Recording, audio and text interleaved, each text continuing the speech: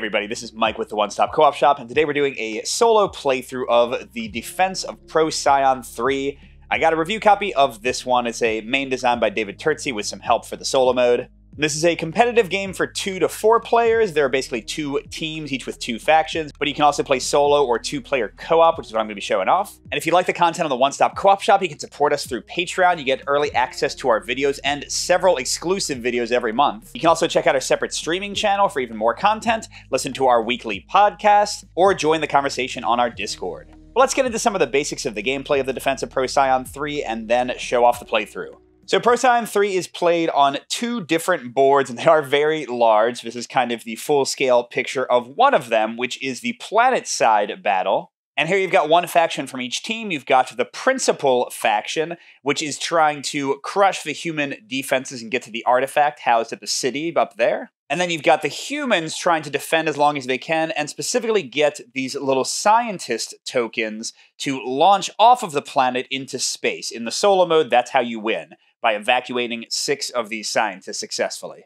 Meanwhile, over here in the second board, you've got the space battle. Once again, two factions. The human armada over here is trying to crush through the alien defenses and basically get to the planet so that they can facilitate the evacuation of those scientists and also uh, bombard or drop marines to help the humans out on the planet. While the Meld alien fleet is trying to hold them off and also support the planet invasion. And as I said, the humans win if they evacuate six scientists. They lose if their victory point track, the orange thing at the top of the board there, would ever go all the way down to zero. Or if the Empress, the leader of the land invasion, ever gets into the city or if both of these pylon buildings are destroyed, or if 10 rounds have gone by and they haven't won the game. So lots of ways for you to lose in the solo and co-op mode. And by the way, solo and co-op have the exact same rules. You just divide up the factions. So one player controls the expedition on the planet, the other player controls the armada in space. So those are the basics, but each faction has unique rules for how it plays. So let's just jump into the first round, and I'll go over details for each faction as they go. So the principal, the alien land invasion, takes the first turn each round. And in this case, because we're playing solo co-op, we're using the principal bot, which is controlled by this deck of cards. And each round, they're going to resolve two of these cards and then get a bonus action at the end of the round. In rounds after round one, the last Meldbot card, the other alien faction, will determine which two cards are used, like in this case, the two rightmost cards will be played. But for the first turn, you always use the leftmost two cards. And all these starter cards will indicate a location the aliens want to move to, and it'll tell you what to do. You're going to move there with unsuppressed alien units. We'll show what that means later on. And then if there are three plus units present, they attack. If these weren't possible, instead the aliens would resolve the generic push action. And this icon just means that it's a starting card. You always have three of those to start the game. So here they want to get to the Eastern Settlement, which is right here, and they have a crud a ton of guys on the east and west flank. And whenever they move, they bring half of their people rounded up, which in this case is five of these basic Legion units and then one of their big units. They'll send a Centurion if they have one. These are basically meat shields that can just take a ton of damage. Each of the chips underneath is one damage. Uh, the Empress is the last one they'll send generally. So these six people move in, and then the card said if they have three plus units there, they will attack. And attacking for the principal is handled with this bag. It's been seeded with black and white cubes. White cubes are a miss, blacks are a hit, and they have slightly more blacks than white to start out. And they draw a number of cubes equal to half their units rounded up. So here, three cubes. And in this case, slightly bad luck. They got two hits and one miss. But the bag changes with each attack. If every cube was a miss, then one miss is taken out of the bag and the rest go back in. If a single hit was drawn and any number of misses, then all the cubes go back in, nothing gets taken out. But if they ever get more than one hit, then one hit is taken out. So although this was a slightly bad result for us, it does make the bag a little bit weaker for the future. So they've dealt two hits here, and if I had what's called a deflector in the space, I would get to assign how those hits were allotted. But since I don't, they have a little priority list for the AI. And let's see, uh, here they're going to kill a Marine that would die. These sort of beige units are militia, they have one hit point. These green ones are Marines, they have two hit points, and then they can't choose to kill the scientists until all my defenders are gone. So in this case, they want to totally take out the Marine, and these guys are gone from the game forever. You cannot get them back. And every time a human unit is killed, you place one of these little fallen tokens there, which is nasty because the principal can create new aliens out of my bodies, out of the corpses that are left behind. Now, I can take actions to clean those up, but actions are so precious I often don't. All right, that's the end of their first card. So we discard and go to the second card, which will also be on the east. They're really uh, coming in that flank strong. They're going to move to the eastern vent and attack again. So half the units would be three out of six. There's a few more rules. If only two or one unit would be left behind, they'll move along too. And also, if the Empress would be left with fewer than three defenders to keep her safe, then she moves. So in this case, all of them are going to come. And this time we have no Marines, we have two militia, we have buildings, which they love to damage. The first time it's just damage, but the second time it's blown up. I lose access to a little bonus action, and they get to put down a sky beam that'll boost the meld spaceships in orbit. Uh, but I've got a deflector here, so I get to decide how the damage is allotted. Once again, they're drawing three cubes, and oh, okay, this time they got a single hit, so no change to the bag. When there's one hit, everything just goes back in. So it's my choice. Do I want to give them another fallen? No, I think I'll let the building get hit. That way I can attack them here, maybe? I don't know. That might be a terrible idea. That does take away my deflector, by the way. Every time there's an attack in a deflector space, it's used automatically. Although, actually, I just remembered they might attack again at the end of the turn. So, yeah, I guess I'll choose to take away a militia. Put another fallen down. Ouch. All right, then the two cards that we drew are replaced. We can see what might come. They might attack the Eastern Approach next, although nobody can get there, so they would just use the uh, Although nobody can get there currently, so they just use the push. To show I mean, here's the eastern approach, and you have red to indicate that there is no movement across that side. They could also hit the western vent, or they could try to kill a hero that shares a space with them, attacking twice. So it is nice if you have a bit of predictability of what's coming next. But now, as I said, the principal gets a bonus action. If they had six or more of the hit cubes out of the bag, then they would place two of them back in the bag, basically improving their hit chances, but they don't. They only have four out. Next, if we had killed a ton of their Legion units, they would spawn some more from my corpses, but that clearly isn't the case. So finally, they'll attack again in a place where they share space with human units. Uh, normally, they pick the place with the most units of theirs, but here it's tied, so you have to actually roll off. they don't come with a die in the game, this is pretty rare. Oh, I didn't say which one was which. Let's try that again. Okay, that'll be one, two, three, four, five, six. Okay, so one up here. Three cubes again. And oh, two hits again and one miss. So that means one of these is taken out at least. They have to kill the militia first, but then they also get to kill one scientist. That leaves two more fallen. Yikes. And losing scientists, besides impacting your chance to get them off the planet, also lowers your morale. So uh, as more die, your victory points go down further. I'm losing one victory point out of 10. And as I said, if this goes all the way down, that's all she wrote. All right, well, that was a harsh first turn, but now we get to respond. We get both human turns in a row. First, the Armada in space, and then the expedition on the ground. So the Armada's turns are also controlled by cards, tactics cards. But at both the start of the game and every two to three rounds, they're going to get six cards, and they're going to assign three to their combat deck and three to their actual hand of cards. For the combat deck, all I'm caring about are the number of hits, little targeting symbols at the bottom. That's how much damage will be dealt when that card is drawn when the Armada attacks. Whereas I pay attention to the top for activation of units and the middle for special powers when I play the card on my turn. I play one card per Armada turn. Now, predictably, the cards with the worst damage also tend to activate the fewest units and have the weakest special abilities. So it is a tough choice. This is a fairly bad draw. I usually hope for like at least an average of two, but here with all these ones, I'm kind of low. So, you know, do I make my combat deck very strong with twos and threes, but have uh, fairly weak activations? Oh, let's see. I love this one that lets me activate three frigates and four interceptors. That's a lot of ships. And I hate this one two coordinate and one wild. What a bunch of trash. So even though this is a one hit, I'm going to put that in the combat deck, plus the big three and the two. So I do have kind of a balanced combat deck. And then I'll have these three for activations. So we just shuffle that combat deck up and we'll draw from it each time a unit attacks. All right, as for me, the main thing I'm looking at are the top things. I've got three types of ships frigates, dreadnoughts, and interceptors. You can guess uh, kind of the level of power of each of those. And then you also get these coordinate actions that let you move scientists or get what are called echo drones that give you some uh, options with your turn. The stuff in the middle won't matter for the first turn.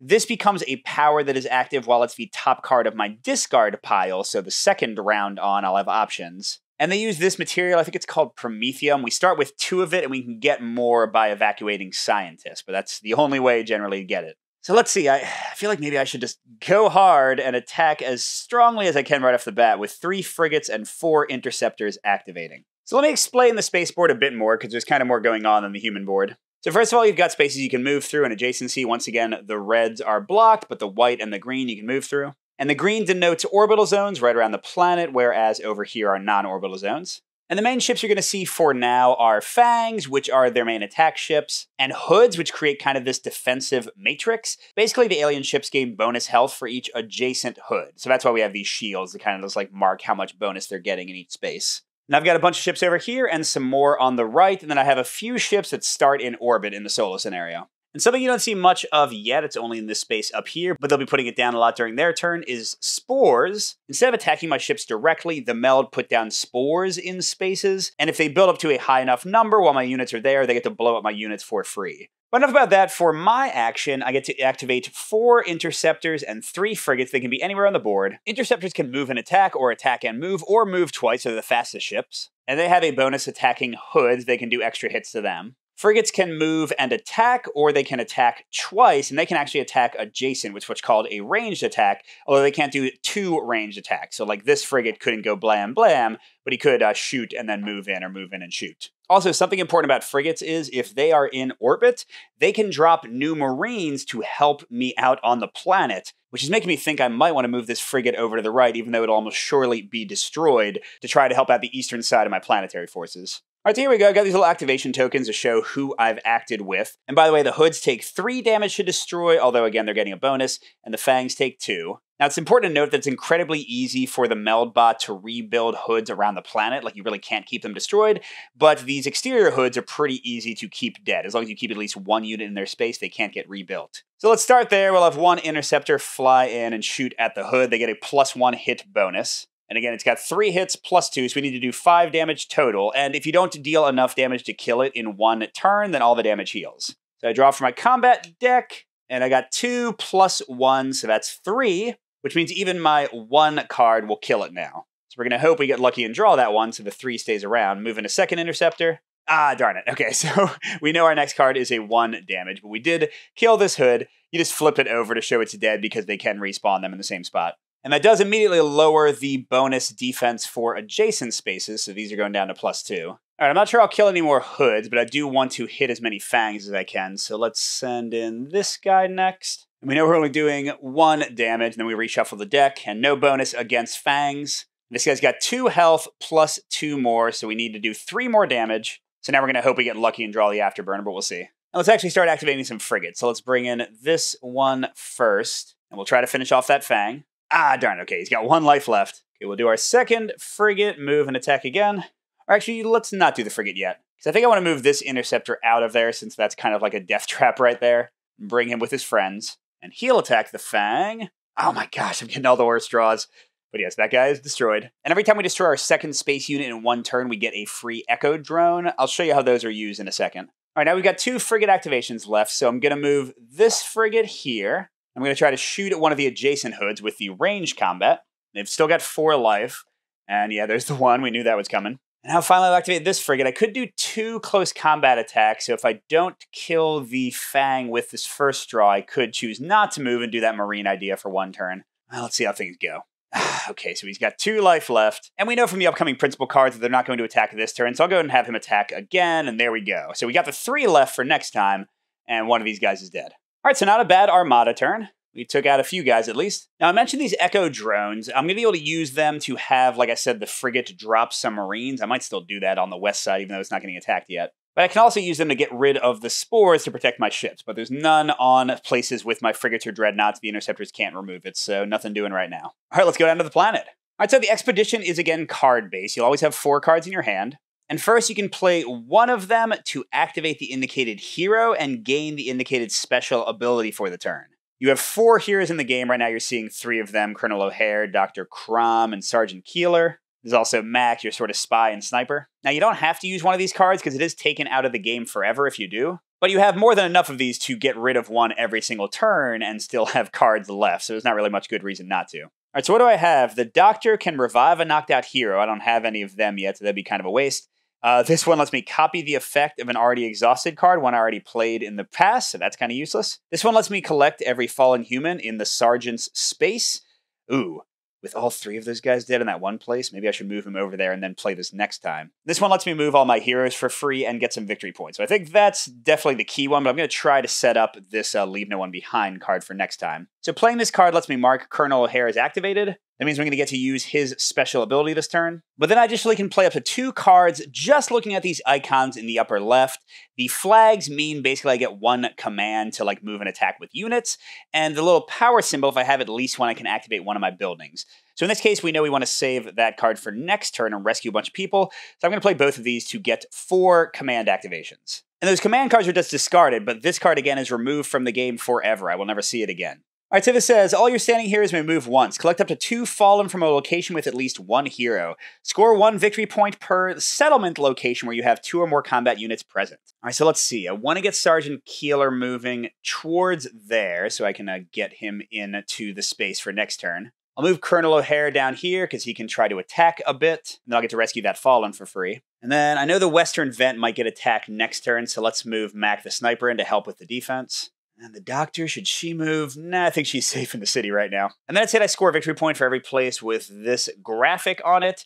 Uh, there's four of them, but unfortunately, this is the only one that has two or more combat units. So I get one victory point. I'm back to 10.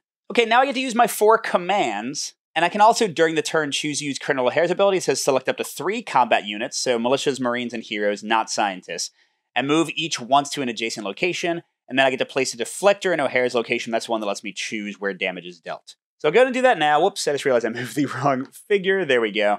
I'll get a Keeler one space further over, so I'll have to use a command to get him in there so the other card's ability will work correctly. I know, I forgot, I'm going to rescue this Fallen for free from uh, the card I played. Then I get two more free combat moves. Let's see, this guy kind of got left behind, and usually they don't really go backwards, so I think I'm going to bring the Marine down here to help out. And then maybe I'll move the Marine that was already here down here to help fight? Sure. Well, now let's uh, move this to random militia since he's not really helping with anything. Okay, so now I get my four commands. You can move a unit with one command. You can attack with one command, although each unit can only attack once, so I can't have the same militia shoot five times. Oh, sorry, I should have a deflector from uh, my Colonel O'Hare ability. And finally, one command lets you both remove a fallen if you're in a space with a hero, and also put a deflector down on the board. So even though I'm leaving him all by himself to get potentially murdered, I'm going to protect those scientists and move Keeler in there. Then I'm going to do one, two hits here. Two, because it's going to kill two of their Legion units, which will bring them down to two draws from the bag instead of three. And then do I want to attack here? Now, you know, I think I'm going to bring in a Marine. so he's not just totally getting killed. So before I assess my hits, I can spend up to two Echo drones to have frigates adjacent to the planet drop some Marines in. I can only do this up to six times and limit in the number of Marines I can drop in, but wherever they drop, they deal one damage automatically. Now, because that frigate's on the west side of the planet, I would have to drop the Marines on the west as well.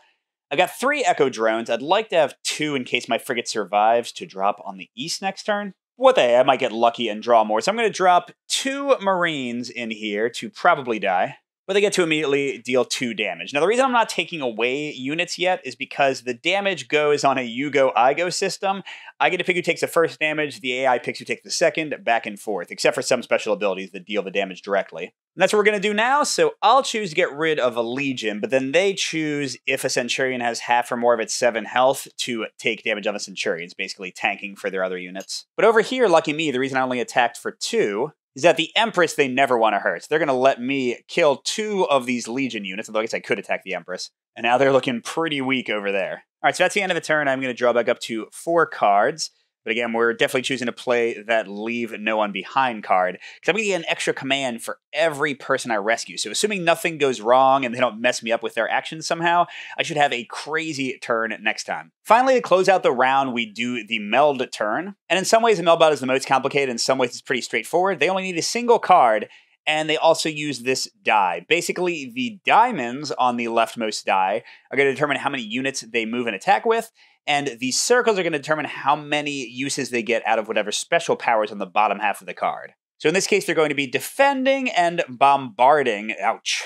And also, as I noted earlier, this is going to determine which cards are used by the principal next turn, which is the two rightmost ones. So the two options for the top half are attack and defend. Attack means they're going to try to destroy my ship specifically and focusing on non-orbital zones not around the planet. Defend means they will only look at zones around the planet. And it's always going to be two times the number of diamonds, which is four units in this case. And all they're activating are Cobras, which get to activate three times. Luckily, that one's not adjacent, so it's not going to come into play. Instead, they're going to activate four of their fangs. Well, actually, whoops, silly me, I forgot that first they get to build something for free. First, they want to build a hood in an orbital zone, and I can't stop them, but I didn't destroy one. Then they would rebuild a hood in a non orbital zone if I had left it empty, but I didn't. And then next, they're going to put down a rattle in a place that doesn't have one that's orbital. This is going to be bad for me because with the four activations, they're going to kill my frigate, as you'll see in a moment. So next, they'll activate up to four ships, again, two times the number of diamonds. And each of the fangs can move once first, and then it can place one spore in its space. So first, they prioritize activating ships in what's called the most dangerous zone. And for them, the first tiebreaker of most dangerous, there's a lot of them, but all we care about right now is that there's a human ship here, so this is actually a pretty simple turn. So this Fang right here is going to do one spore. Then we're activating three more looking at adjacent spaces, and they try to do the ones that have the most units. So first one will come here at a second spore. Now this place has the most units. They'll come here at a third spore. And now both these places have two units, but uh, when that happens, they go from clockwise north around. So this guy will come in and put a fourth spore down, so they have four total. And how many spores are needed to take down the shields? For an interceptor, it's three. For a frigate, it's five. They only have four, so I should be safe, but rattles get to double a single spore in their space. They're kind of like an extra spore as long as at least one is there for them. So that'll be five. My frigate is destroyed.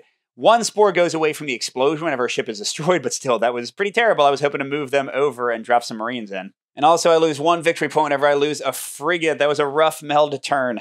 And they are not done. Bombardment says deal circle damage to targets outside of the pylon's location, which is three here. So they're getting to bombard us three times. Now, these pylons here protect from bombardment, and they also protect the city, so anybody in these three spaces can't be attacked. But the Meld's first preference is to bombard heroes who aren't under the protection of this place, which is all three of these heroes. Now, each person can only be hit once by bombardment.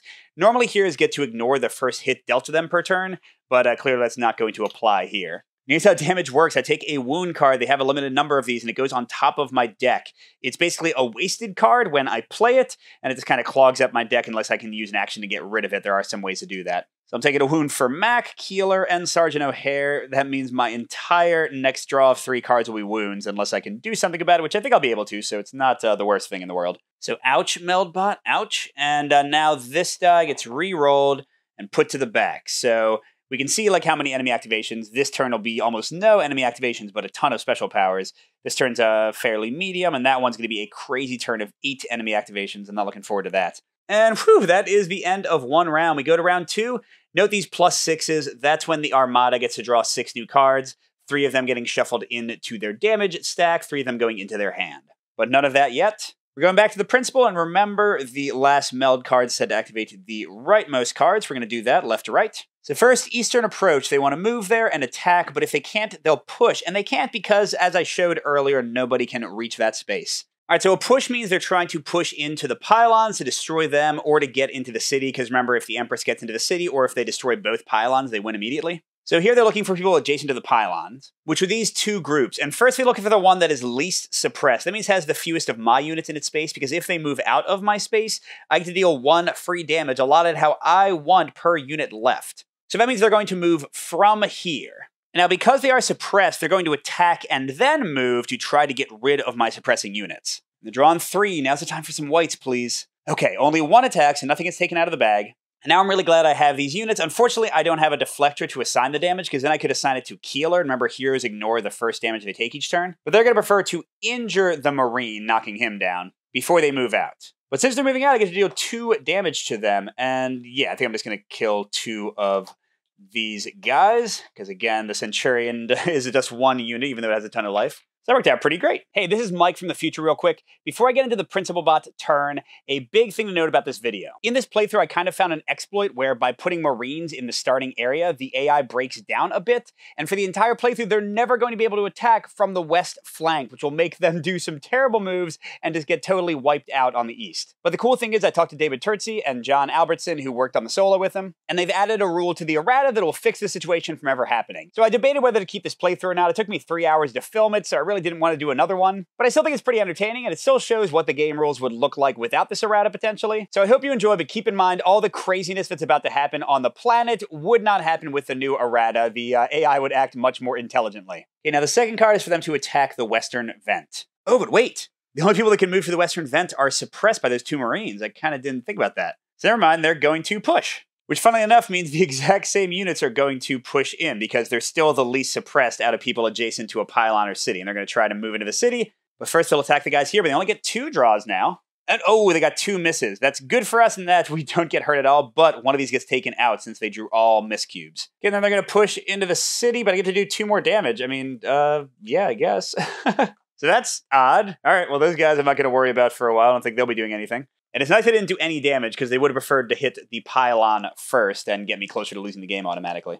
Ooh, actually, actually, actually, I'm not going to kill two of the guys because they will use the fallen tokens to spawn as their bonus action if there are 12 or fewer Legion units on the board. And they're currently 11, so if I put both those guys back, that'll make it 13. I'll just take 2 damage off this Centurion, thanks. And now instead of spawning and getting rid of the tokens I'm literally about to save, they're going to, no, not get two of those because they don't have 6 out. Oh, so they're going to do another attack. So they want the biggest group of principal units sharing a location. I know it's tied again, which is clearly here. Oh my god, how many cubes is this?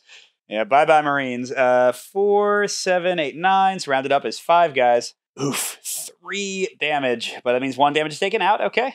That means one Marine is killed right out, and the other one is just injured. Awesome. So they're still suppressed. I'm messing up their entire west flank here. Alrighty, I'm feeling kind of good about how that turn went. All right, let's see what's coming next. Okay. Uh, they'll try to attack a place with a pylon if they are there. Otherwise, they'll push. They'll probably just be pushing a bunch next turn. But for now, let's get back to my spaceship saddened over the loss of their frigate. And I'm glad I moved that interceptor out, or it would have been blown up too. Because I've got two options left. I can do four interceptor activations in one coordinate. That uh, lets me get an echo drone for later. Or I can do two interceptors and two frigates. I mean, that is definitely more attacks, right? And by the way, I do have a special action available for my discard pile. I may spend one Promethium, I have two, and one of your coordinate actions to produce one Echo Drone per Centurion on the ground board. There are currently three Centurions. That's pretty good. Oh, but I would need a coordinate. So we're definitely going to do this, get four Interceptor activations, and I'm going to use a coordinate action, and one Promethium to get three more Echo Drones. Hmm, although, okay. The problem with just Interceptors is that they cannot use Echo Drones to get rid of spores. So if they charge in here to attack or charge in there to attack, they're gonna get blown up. Huh. Yeah, I don't know. It seems like a terrible idea. Although if I get lucky and they draw an attack card, they'll focus on coming to the frigate. Uh, yeah, never mind, never mind. I'm going to use two frigates and two interceptors. I just don't want to charge into that death, so I'm not going to spend the one Promethium to get three Echo Drones, sadly. Let's see, I pretty much just want to kill the Fangs, I think? Now, sadly, my frigates can only do one range attack, so I guess I'll just move them in and attack. So each Fang has four life. We'll attack the first one. Three damage. We need one more. Shuffling up. Here comes the frigate. And two, so I wasted one. And then we'll send in one, two interceptors attacking the same Fang. Three and one. Yeah, okay, so that's enough. Boom. Killing two guys does get us a second Echo Drone. And instead of dropping Marines, because the ground battle seems to be doing okay, I'm going to spend both to convert this into one Spore. So we're definitely still going to lose some units, but hopefully not as many. And hey, I do have a chance of getting some scientists off, so maybe I'll try to send some up this next turn. We'll see. All right, now back to the expedition with some finagling. We got Leave No One Behind to go off the way we want, so we're definitely going to play that. So we'll activate Sergeant Keeler, and if Keeler is standing, collect every fallen in his location. That is three people.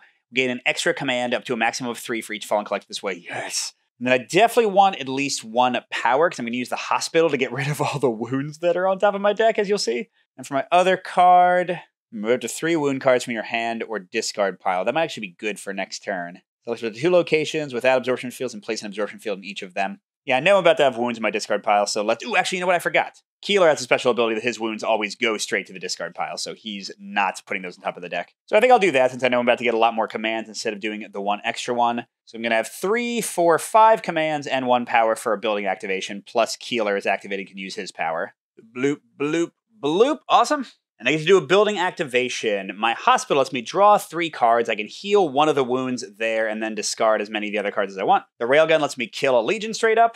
Satellite dish gives me an echo drone, and this ignored building adds a uh, miss to the bag. But clearly I'll use the hospital. And since I know it's just two wounds on top, I'm just going to choose to draw both of those. I will heal Mac's wound because she has less overall health and put Colonel O'Hare's in the discard pile. All right, now I have five activations. Plus, I can activate Sergeant Keeler. I can move him to an adjacent location and deal two hits in his current location. That counts as his attack for the turn. So I'll spend one of my commands to get him over here, and then I'll use his special ability, leaving me with four commands to come in here and deal two hits. Because I'll be killing a lot of guys that way. Jeez, I could wipe out the uh, Empress, couldn't I? But first, with one of my four remaining, I want to get a scientist here to launch them. You can launch one for free return in the solo mode, not in competitive. And then with Echo drones, you can launch more, but I don't have any Echo drones. But I still got three more activations. And yeah, maybe uh, it's crazy, but killing the Empress gets me a ton of victory points and takes away one of their victory conditions. So let's go boom, boom, boom and attack three more times here. Sorry. All right, so I'm going to launch one scientist for free. Because I was on the west pylon space, they can only launch from the pylons or the city. They have to go to the west side of the planet. Uh, nobody can attack them here, and they come with two Promethium. And I can use a coordinate action next turn to move them out. And then if I get to move them out again outside of orbit, then they immediately jump away, and that's one of my six to win the game.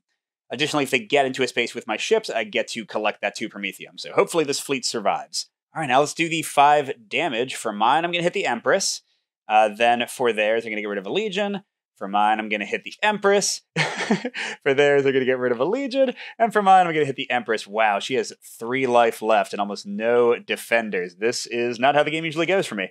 Yeah, well, I'll get six victory points for killing her. That is great. All right, let's see. I got a surprise attack by Keeler, satellite interference by Mac, another Mac, and ooh, all two uh, flag cards. Okay. But let's go to the Meld to finish things out. They're only going to activate four units this turn, but eight next turn. Good lord. Oh, and they are attacking. Okay, so they're going to try to attack non orbital units first. It's actually kind of good for me because they're not going to focus on the uh, ships that are in the center. So the most dangerous non-orbital zone is right here, and they want to try to deal at least four damage there before they start focusing elsewhere. So let's see, that'll be one, two, and then that's all the adjacent ones. They start looking for two away, which would be that guy and that guy. So he'll move here, and I guess just drop a spore randomly there and I think he'll move here and drop a spore there.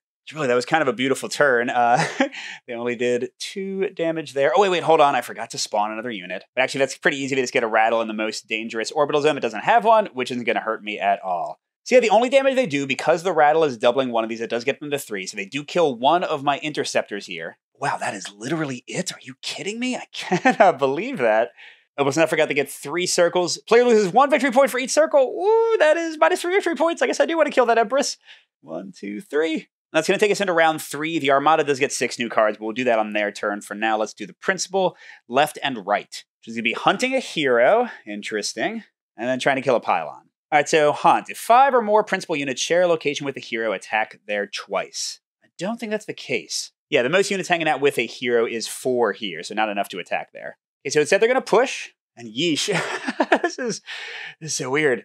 So yeah, it's supposed to be least suppressed, but there's four people suppressing this group, and the sad little Empress is in contention, but there's four people suppressing her, and then the larger group is preferred, so it's not going to be you, Empress, you're lucky. So it's going to be these guys. They're going to attack first to try to remove suppression and then move into one of the pylon spaces. Only drawn two, and it's one hit, one miss, and nothing taken out. And I don't have a deflector here, so they choose how the damage goes. They're going to kill a militia since the one hit wouldn't hurt the hero. That does leave a fallen here for them to spawn. Now, here's the weird thing I think they have to move, as much as that's a terrible choice for them. Because a push means that they sweep, which involves movement. So they're going to randomly go into one of the pylons. I guess we need a d6 again. Oh, sorry, one, two, three, four, five, six. Okay, they're going back to the right. Geez, the east is popular. But yeah, they're going to take three hits when they do that. Um, um, I guess I want to. Well, now they're definitely going to spawn guys anyway, so I might as well kill two of these guys, and then I will go and do one damage to the Centurion. And uh, yeah, you didn't really accomplish much. Good job, guys. Oh, and then look, if three plus principal units share a location with a pylon attack there twice, I guess it's good that I got them down to two units. Otherwise, they push again. Oh, and interesting. Now the groups are tied. Okay, now it's still going to be them because they're the least suppressed group because they would clearly take a crap ton of damage if they tried to move. All right, so they're going to attack with one cube and then go back into the city. And they got one hit, which is actually kind of good because if they'd gotten a single miss cube, it would have been taken out. So they will hurt the pylon instead of one of my units. Then they run away, and I get to do two damage. Again, I'm not going to care about that extra Legion because they're drawing one cube anyway. So let's almost kill a Centurion, which will get us some victory points. Oh, wait, they have one life left, and they themselves are alive. So basically, two more hits, and that guy's dead. All right, they have another target pylon. You got target. Oh, there we go. They would finally get their Western units involved and then reorganize. If there are at least two fallen on the board, spawn up to three of them, and you lose victory points and place legions for each. Although they're about to spawn right now. Oh, wait, no, they are not. Yeah, because they have six or more cubes out of the bag. So they're going to put two back in to make them hit more often. Wow, that gives me an extra turn to get rid of at least that fallen, so they're only spawning over here. That's crazy. All right, now we go to the Armada. I've got my one card left over, but now I'm going to draw six more. Three are going to get shuffled into uh, not the discard pile, but just the deck, although I did just shuffle the deck. So I guess they'll just all go in there. So three more combat cards, three more activation cards. Once again, pretty bad draw. Really bad draw. Wow. Let's see. This one activates a ton of interceptors. I don't mind that. This one, wow, is wild. so good, but three hits is definitely nice. Let's put that in combat. Four coordinates. well, oh, no, I'm laughing at that, but I don't have any echo drones, and I do need to move scientists. Oh, but never mind. I can move scientists with any action. So, yeah, let's put that in the combat deck. Maybe one of these two. Ooh, that would probably get my dreadnoughts involved. That seems good. Although, man, three frigates and four interceptors would do a ton of damage. But my frigates are kind of out of position. See, I'm going to do that one. Okay, so I've got a lot of dreadnought activations. You can see how that works. And some interceptors. Cool. We shuffle all these combat cards up. All right, so we're going to keep on hammering here, I think. I just want to attack a ton, and then I need to move that guy out. If you leave a scientist on the planet at the end of the Armada turn, they die automatically. Maybe I'll do the Dreadnought and four Interceptors. That would pretty much be my max of attacking. Yeah, I kind of like that one. All right, so I'll do the Dreadnought first. The Dreadnought can either do a close combat attack with plus two damage or range combat attack with plus one or they can move. Whatever they do after they activate, I can move up to two other units, but they can't do anything else that turn. And I can't move a Dreadnoughts or Scientists. So I'm going to move them in here, I think. Oh, and when they move, they get to spawn an Interceptor for free out of six that were in the supply at the beginning of the game. Otherwise, killed units can't come back. And this guy can still activate. So for my two movement, I'm going to move another Interceptor in. So this guy can't activate. And go ahead and mark them. And then for my second activation, even though it's to get me killed, I think I'm to move a random interceptor in here just to get the enemy to hopefully like put some attention over there. We'll see if it actually works. I don't know. Okay, now I get four interceptor activations, but I'm going to use one of them to instead move the scientist. And now I've got three activations, which unfortunately is probably not going to be enough to kill two things, right? Unless I rush in and attack the hood. Yeah, I just want to get the echo drone for killing two things. I care more about that. So I'm going to run in here. I guess I could use the interceptor that's already there, but whatever. All right, come on, give me a three. That would be an instant kill, right? Or one. Okay, so he's got two life left with a plus one bonus. Okay, then I'll have the second interceptor here attack. Okay, and that's plus one again, so that is going to be four damage. That's enough. Oh, no, it's not. No, it's not. Crud. They have three life plus two. Wow. Well, at least I got both of my plus ones out. okay, third interceptor, last one. Come in here. Uh, of course, now I get that. Okay. So this guy's going to get rebuilt in two seconds, but it means that they're not building another. I don't know. That was kind of a waste overall. Wow. Okay. Darn it, if that had been a two as the second card, and then I drew the three with this guy only getting plus one with that hood destroyed, I could have killed a Fang. I would have gotten an Echo drone. Everything would have been beautiful, but it's not to be. And by the way, I don't collect this Promethium unless this guy's still sharing a space with a frigate or dreadnought at the beginning of my next turn, so that's not happening for now. By the way, I forgot the action I could have used this turn. Spend up to three Promethium to gain an Echo Drone for each. If you spend three, gain two victory points. What do I have next turn? If the Lunar Refinery is still intact, it is not. In solo, it's automatically destroyed. So I think I will. I need Echo Drones. I can just launch a ton of scientists and win the game faster. So let's uh, go ahead and do that. So it gives me two Echo drones, and I'm definitely going to be uh, kicking some scientists up into orbit with them in a second. All right, now it's the expedition turn. What do I want to do? If I activate Keeler, I'll certainly kill the Empress, but I'm not in a hurry to do that. If she even tries to move, she's dead. so, yeah. Ooh, this one lets me discard one Neuron of my choice from the meld pool. That's important because next turn they're going to activate eight attacking units. Um, but discarding a die instead of doing that in solo and co-op, you can move a die to a different face. So I could give them very few activations, although I don't know what the circles will bring, and that would protect my scientist transports if I launch a bunch. Oh, geez, draw one card and play an additional card in the momentum phase? That's ridiculous. Or gain one additional flag and one echo drone. Ooh, that's really good too. But I have enough echo drones to launch the Mac's number of scientists this turn. So yeah, I'm going to go for satellite interference. So max getting activated. I immediately get to draw one card. I can play an additional one in the momentum phase. And I'm just going to go for max command, baby. So six command, and I can discard one die of my choice. And yeah, even though it might hurt in ways I'm not aware of yet, we're going to do almost no activations for the enemy for quite a while. And I can use Mac's power during this turn. I can move her to an adjacent location, assign two damage to a unit of her choice, and then the principal can discard cards. Blah, blah, blah, blah, blah. in solo co op, she just does one damage to a unit of her choice adjacent to her. So let's go and activate that now and have her kill one of those legions next to us. Now I've got six command. I'm going to launch three scientists this turn because I am a crazy man. So uh, let's do one, two, three. So I got three more command. Um, for four, I'm actually going to get rid of a Fallen because they are going to spawn very soon, and I think that's a smart move. It also lets me put down a Deflector, and they're going to think maybe try to come here, so I can put one there. Leaves me with two activations left. Yeah, I mean, I could kill things, right? Well, yeah, I'll go ahead and kill one of these guys. Or sorry, I should put the damage there. And for the last one, clearly these guys are going to be coming, so yeah, let's kill one Legion, because again, I get to assign the first damage with the Marine who's still alive. Good job, buddy. And then one free launch and up to two bonus launches. This is why I need those fleets to not do much the next few turns because I'm going to be spending a lot of activations just to get those scientists out of there. Now, when you use an Echo drone to launch a scientist, you get a free move with one ship. So even though I'm leaving my interceptors high and dry, let's get my dreadnought in here. And sure, let's get another interceptor in here too. I just want to keep people alive because again, I don't care who's here. When my ships move from orbital to non-orbital, they just jump away immediately, whether there's enemies there or not. All right, so feeling great about this. If I can get those three out, I'll only need to save two more. And it's funny, I was literally expecting this playthrough to be like the shortest one ever because I would die immediately, but uh, no, somehow I'm doing better than I've ever done before. Mainly because the Automata is being a little bit dumb. And finally, here comes the meld bots. They're going to do a ton of special activations. Okay, defend. Okay, so they are going to attack the orbital zones with two times, so two guys are going to attack. So um, it's going to be this one, and then one of these guys. That's going to bring it up to three.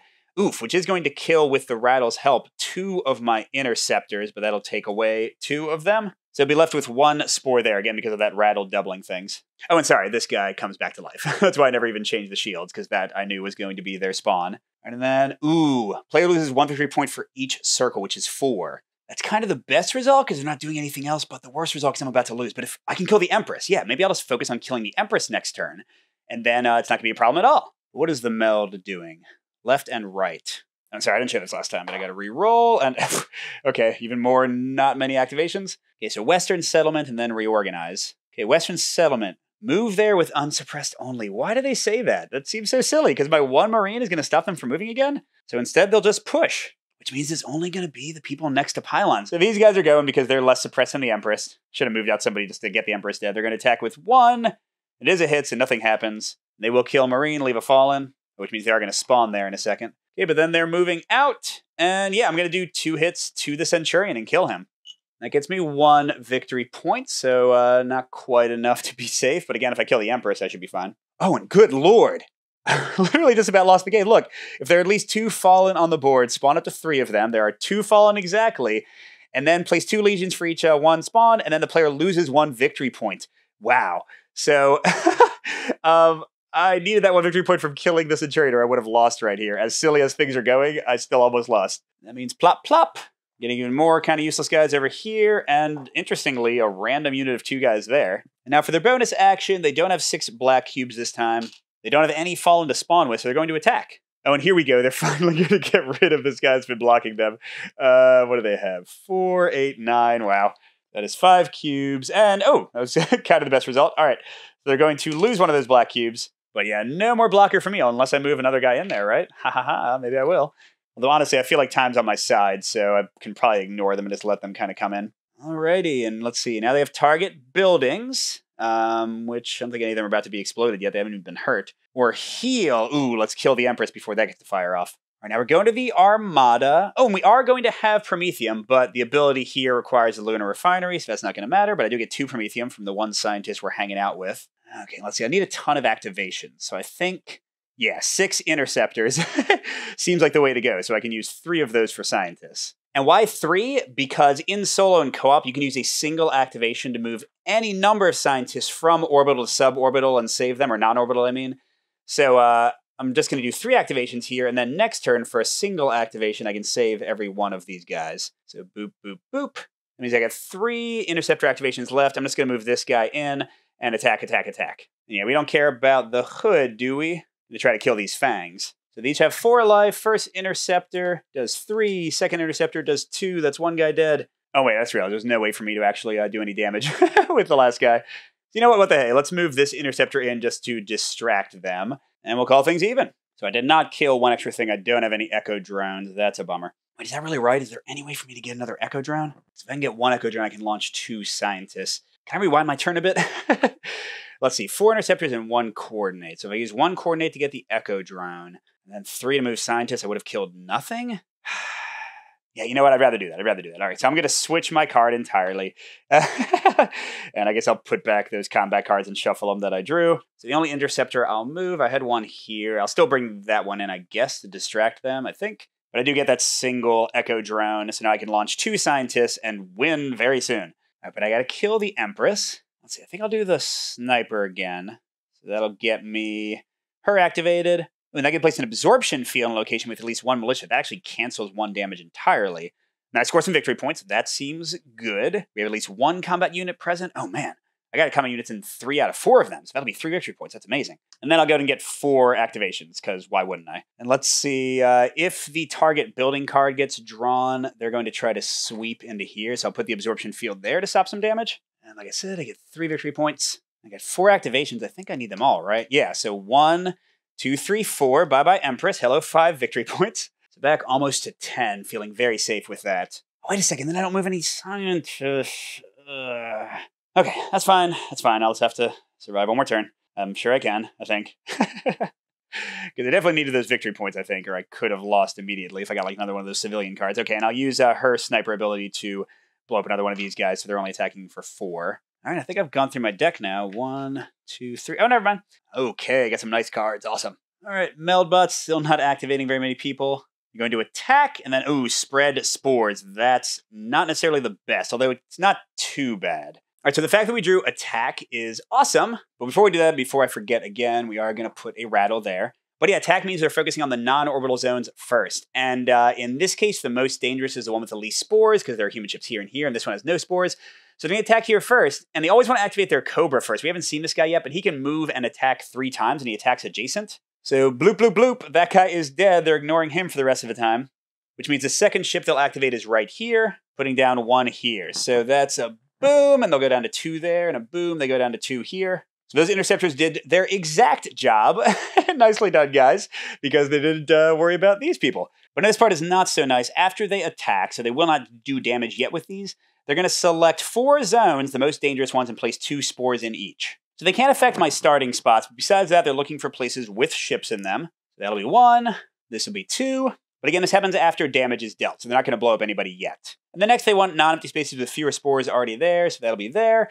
And the tiebreaker is the least hoods affecting the space, the lowest shield value, so they're going to put some over there. There's actually a great card. I mean, that and the victory point, I'm getting crazy lucky here. They could be like spawning a billion more units. There are cards that do that and two right cards. Oh, so they're not going to attack the buildings. Dang, I thought that uh, flank might actually come into play. We reroll this, although I think the game will be over before that. All right, so the two right modes. So we're going to target the pylon and then heal. Okay, if three plus principal units share location with the pylon, no. Otherwise, they'll push. So it's going to be these guys. They're pushing. Uh, okay, they're attacking for one. Oh, and they miss. That is removed. There we go. They accomplished something. But then they're both killed when they try to leave. and the second card is, oh, Remove two Discord cubes and add two focus cubes to the bag. That's actually pretty nasty. They're taking out two misses and adding two more hits. Okay, if the Empress has two or more health missing, return three health to her. Okay, but she's dead. Otherwise, return one health to each Centurion. Darn it. Only one of them's been hurt. That's the nice part. But look at this. If less than three health was returned, draw another meld card to execute. So they're like, never mind, we're to attack. Okay, five plus if principal units share location with the hero. Nope. Otherwise, they push. They push. Stop pushing. Okay, they're doing one damage. Good job uh, which means they'll kill the militias they don't have a thing. There. Oh no, no, actually they'll hurt the pylon. Good job, guys. You almost blew that one up, and then uh, they'll run away and die. And by the way, they will spawn two new guys here from that fallen token as their bonus option. And uh, yeah, all right, we're in round five. By the way, uh, I guess I'll activate to save all these guys. Oh my gosh, I get all this promethium. Jeez, I just want to blow up all the units I can. I guess. So what's my option? Once you may spend two promethium to add a discord cube to the principal bag for each frigate in orbit. That's nice. I got two of them, so I'll definitely do that. There you go. Take your two white cubes back. But for my actual activation, all right, I'm about to get more cards. I can do six interceptors, uh, which I don't really need, or two dreadnoughts and two interceptors. Yeah, I guess I'll do that one. Ooh, and then on the next turn, if I don't activate a dreadnought, I can charge the ion cannon. That's like a super weapon. Uh, yeah, so we'll do this. That's two dreadnoughts, two interceptors.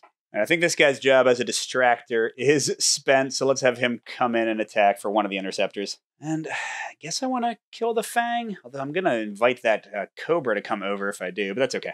Okay, two damage to the Fang, so it's got two left. For my second Interceptor activation, I'm going to bloop, teleport four people out of here, so that's four out of six I need to win. And then for this Dreadnought, I guess I'll have him shoot. If he shoots at close range, he has plus two damage. Oh, so I'm just going to totally wipe this guy out. Oh well. Uh, yep, so that's four, so actually he would have killed him by himself. And for the second Dreadnought activation, I'm going to move him. Oh, that's right. After a Dreadnought activation, I get to move two guys for free. So let's move those guys in. Then I move this Dreadnought in. I'll get to move them for free. And he gets to spawn another Interceptor. So, wow, I got a lot of guys, don't I? That should definitely be a nice distraction if I get another attack card. So now I only kill one thing, so no Echo Drones, but that's fine. I've got the one I need for the expedition turn. And we got the Doctor involved. Let's do her. So return one token up to both pylons. So I'll heal that one pylon. Armada may take one card from the discard pile into their hand. That's cool. And score one victory point per eastern location where you have at least one combat token present. I have one of those. So boom, up to 10. What now? Heal my pylon. And I'll take this card back because it has seven activations. Yeah! All right, speaking of activations, I'm going to get four activations and a building. And then, by the way, Crom, I can move her to an adjacent location, place an absorption field in her location or an adjacent one, add one discord cube to the principal bag. Nice. I guess she'll come in here. And I don't know, put another one uh, there, I guess. I got four activations and one building. I'll use the railgun to just kill one of these guys. I'll use two activations to get my last two scientists there. Blah. And then just to be annoying, see if I can break the AI more, I'll move in here and shoot one of these guys for my last two activations. Ha ha ha. Okay, now I draw my last card, and then this deck is flipped. That's right, no shuffling unless an effect indicates otherwise, but I did not get to my one wound that's hanging out in there. Was it two wounds? Yeah, it's two wounds that are hanging out. And I cannot forget my free launch and then my one drone. Get the last two scientists airborne, and I can move one ship. Uh, I don't know, let's get a frigate in here just to be annoying and weird. I'm not sure if that's good or not. Actually, what the heck? Let's get the Dreadnought in there. Hello. All right, they're only activating two for attacking. And then, ooh, here they go. They're constructing when they get a free construction. I can't forget that. Free construction in this case is going to be a rattle. In the last place, they don't have one. And now they'll actually start being useful and doing some fangs. But first, they're attacking with three units. So the Cobra is going to go one, two, three, because again, they prefer non orbital zones. And then the one guy that's already here will do one. Okay, now, geez, uh, six. They can kill one frigate. That'll lose me a victory point. They can kill another frigate because we're still at five. It's five to kill a frigate. Now they're down to four. And they can kill two of these guys. We're down to, uh, yeah, actually, hold on. They can only kill four guys per turn. It says destroy frigates before interceptors, but they don't say like where they have to be. So I mean, I'd prefer them to not kill here. All right, so we pretty much wiped out the fleet over there, but they did their job. All right, let's see. Now they're going to construct four times. Oh, whoops! they actually can rebuild this because I didn't leave anybody there. So that's one. They're going to build three fangs. and They put them adjacent to the most dangerous zone. So, wait, actually, is that the most dangerous zone? Actually, this counts as the most dangerous zone because it has a human ship. They don't care how many, and fewer spores. They're all going to spawn there, clockwise to it. That's not how clockwise works. Dummy, they're going to be over here. Now we re-roll. Okay, two activations and two leftmost cards. Right, going into round six, it should be the second to last turn because I'm definitely going to get those two scientists off unless something really intense happens. Okay, so they're going to target buildings. Hey, they're finally moving. And then they're going to reorganize. I think they're moving. Select a building and sweep there. Yay! Darn, I should have put the other field here because they are going there. So uh, they're bringing in half their units. That's four people. Oh, wait, no, no, no. It's a sweep, which means they're going to attack this guy before they leave. Oh, which means I think they get four cubed because it's the number of units present, not the ones actually moving. And that will be enough to kill one, although they lose a black cube. Good job, Marine. You did your job. Okay, then they move in there, but they don't actually hurt anybody. And now they reorganize. They're not too fallen on the board. Okay, they remove two Discord cubes and add two Focus cubes, but they don't actually attack. Wow. I will say this bag is almost entirely hits now, so that's certainly not great. But I'm kind of happy that they're fallen because otherwise they'd attack again. That's going to spawn two more guys here. Alrighty. Okay, Armada, let's play our best remaining card. So three frigates, four interceptors. I'll use two of the interceptor ones to move this here. Actually, let's use one friggin' one interceptor. That way I can just activate everybody here and go blasting. Oh, wait, wait, I'm supposed to have six more cards. I'm not even going to pay too much attention. I just want the highest damage. Okay.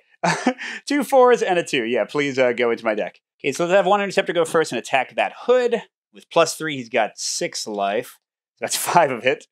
Okay, second, I'll activate one of the frigates. So for his first attack, he'll attack there. And three, it's more than he needs, so that guy's destroyed for the moment. That lowers this to only plus one. The frigate's now going to start attacking over there at one of the fangs. They only have three life now, Ooh, which means a straight up hit. That's an extra Echo drone for us. Okay, so that leaves one frigate and two interceptors. So second frigate will shoot over here at another fang.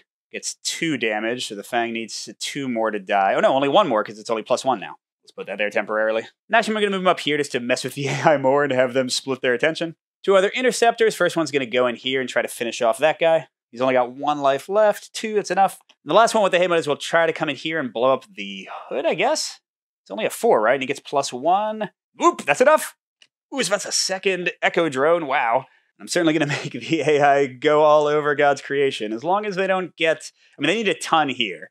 Uh, they need, I think, eight or nine to kill that guy. But you know what? It means I probably should spend some Echo drones to lower that. By the way, just so you can see how it works, I'm going to spend three, because none of my dreadnoughts activated, to charge the ion cannon. Oh, dang, you know what I forgot all about? I can do ground strikes with Promethium, but I need to have a hero in the space where the dreadnought is attacking. So if I'd got a hero adjacent, I could have done some awesome stuff. but as it is, I have two Echo drones I don't need. Oh, so I can land some Marines. Yeah, let's do that. Let's see, even though there's more guys here, I'm like 99% sure they're going to do a push action, because they always do. So let's drop in here and deal two hits.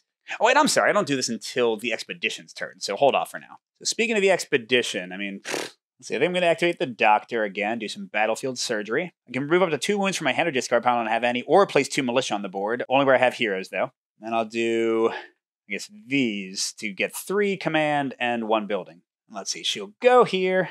She'll place the thing that stops damage there. I can place two militia where there's a hero, so she would have been there before she moved, so there we go. All right, now it's three activations and a building. I'll do the railgun to kill one of these guys. And for the activations, I'll do two damage here. And then I'll use my echo drones, and, uh, you know, now actually I'm going to go in here, I think. Well, nah, let's go in here. Which, with that being the case, let's put these guys here, and then we just hope they don't go that way. So that's four damage. They'll take two on the Centurion for their choices, and I'll remove two of these guys for mine. All right, and we should never have to do these guys again because the Armada will jump the last two scientists in a second. This is the Meldbot's last chance to make something happen. They are defending and then putting more spores down. The spores won't matter because they won't have a chance to blow them up, so all they can do is defend with two ships. All right, so the most dangerous spot is with humans and the fewest spores, and then the least meld. Oh, sorry, they rebuild. Oh, which one did they rebuild? I guess this one's more dangerous because it has fewer spores. That means this place is still plus one. I guess this place is plus two. I don't know. We're not going to attack again, so it doesn't really matter. All right, so then most dangerous would be here, I believe, first. So the Cobra activates, but he keeps on placing it on the least spot. So I think he like moves to there. He just keeps on wanting to like reevaluate which is most dangerous. Okay, and for the second activation, it'll be here, and they'll just put a second one down. And then do they kill anything? Oh, here they can kill an interceptor. Yes, that's it. Oh wait, and here they can kill an interceptor because of the rattles bonus. They spread spores in a bunch of places, but we don't care because that's uh, clearly going to be it for them. These guys do get a final turn at the beginning of round seven. They're targeting scientists and targeting populated. Okay, if I already had a location, there are no scientists on the entire west side of the board. So clearly, I mean, they can't select a location with one plus scientists and sweep there. Uh huh.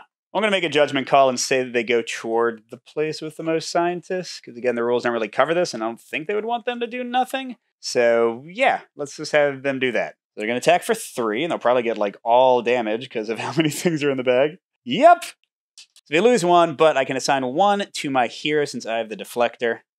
And what the heck, one of my building. They can destroy a building finally if they want to. Okay, now targeted populate. If I already add a populated space with three plus units, attack twice. Oh, oh, no, they're not. They're at a populated place, but not with three plus units. Okay, otherwise they select a populated place and sweep there. Once again, they can't. Yeah, I have no idea, man. Really not clear on what I'm supposed to do here. So, what the heck? Let's just say that the biggest group sweeps in toward the pylons, because that's the only thing I can see that really makes sense. So, they'll attack here first for three. They got two hits. So, first they want to kill the building, which they replace with a sky beam. Uh, this is cool for you to see. You can blow that up. It has two hit points, but otherwise it gives the meld a plus one unit activation every turn until you blow it up. And the other damage would do one to a militia. And then they would, I guess, push in. I'm just kind of making it up, but we'll kill three of their guys while they go. Or wait, four. Wait, really? Is it four? Oh my gosh. Bye. They are going to spawn here, I guess. And yep, that's their one option. So two more guys here. Okay, but the Armada goes, and they get to warp everybody away. But hey, we have an ion cannon. Look, if I activate a Dreadnought, which I think one of my cards lets me, I can deal seven damage among ships in the same zone as the Dreadnought and five adjacent. Or I can distribute five damage in the same zone as the Dreadnought, and then five damage with a ground strike which is pretty awesome, but who cares? Blip, blip. And that is it. Now, there are a few other scenarios that change up how things work and what kind of the focus is. Like, one of them has the mothership, which you never saw do anything as a main focal point of the battle. And you can also make the game easier or harder. But that was Procyon 3. Check out my separate review video. Good gaming, and I'll see you at the next stop.